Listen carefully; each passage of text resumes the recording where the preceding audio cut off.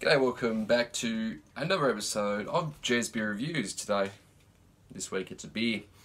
Now, uh, what we got? It's the uh, Boatrocker Stout. Now, uh, Boatrocker Stout, purchased this from Dan Murphy's. It was uh, around the five and a half, six dollar mark. And um, so it's a 375ml can and it's 6.1% ABV. So, uh, we're looking for some information on it. I didn't get real lot. All it says is our stout uses only the finest English malt and hops to give you a deli deliciously balanced and hearty ale.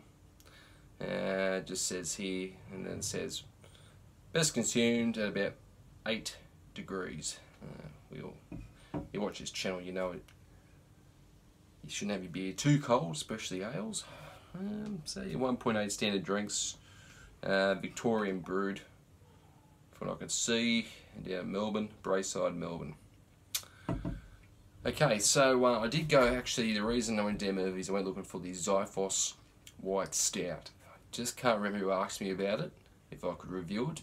So I did have a look for it, spoke to the, uh, the manager, and he was saying that um, it's been deleted that line, so uh, yeah, we won't be seeing it again anytime soon. So, so I was probably a bit slow on the ball there, but um, I did try and find it, and um, it was gone. Let's crack open this stout. Starting, well, it's autumn here now. Uh, it's been pretty. Weather's been good. Can't complain. We get those um, we get those southerly breezes down here East Coast, southerlies and easterlies, they're absolutely fantastic. So what we got? Bit of sample there, appearance pretty black. Head. Got one thing of um, tight white uh, mocha coloured head, as to be expected. Yeah, appearances, yeah, sample. The, the nose, Okay, so the nose smells pretty promising. It's uh, the nose matches the colour. It's very roasty. A bit of um, like light uh, milk chocolate aroma, milk chocolate powder, I suppose. You can imagine as cocoa powder. If you imagine as milk cocoa powder and coffee. So yeah, no, it, it smells smells better, right? Let's uh, get into it. Big cheesies all.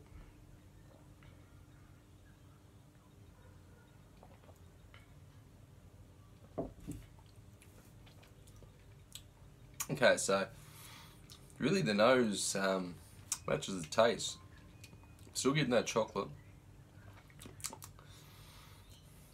And getting the coffee. It's obviously really roasty.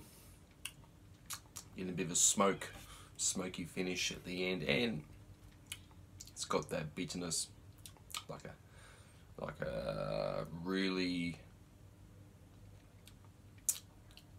what do I say, espresso coffee. Espresso finish. Yeah.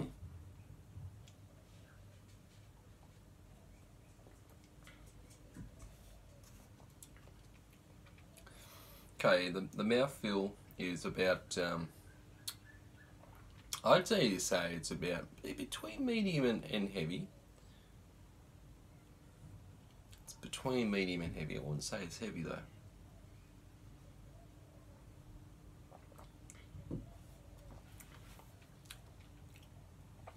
It's definitely got uh, sweetness in there, matching all these flavours. It's sweet. So, flavour profile is pretty much bang on. There's no real complaints there. Uh, yeah, there's no, there's no more pedal I'm, I'm getting out of it, uh, but it's very solid. Um, obviously, sessionability is out the window. You know, maybe have one or two of these. Most likely, if this, they're probably um, they're probably not open to the public at the moment.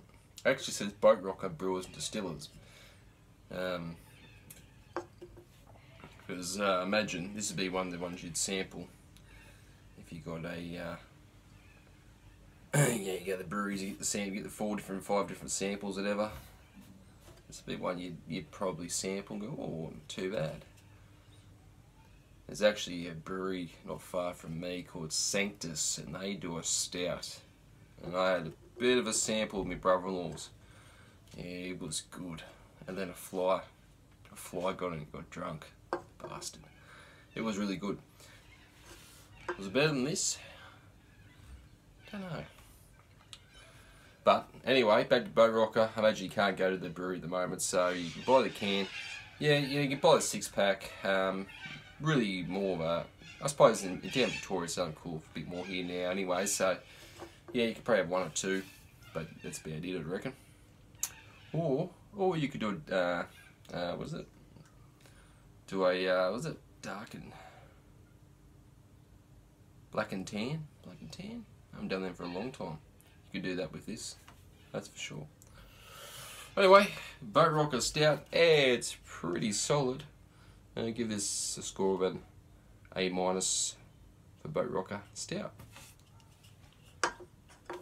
And uh, yeah, so well, thanks for uh, watching this episode of uh, Gez Reviews. Uh, any more requests? Um, I'm willing to take requests on beers if I can find them. Um, had a request there the other week that Stone and Wood beer. It had watermelon and mint in it. And, uh, oh, luckily they didn't have that damn movie because I did have a look for it but I couldn't see it. So, but yeah, I will take I will take requests if I can find. Normally Dan Murphy's in my town. It's the only place I can find beer. So, is that Dan Murphy's? There's probably a chance I can review it for you. Righto, till next time. I'll catch you later.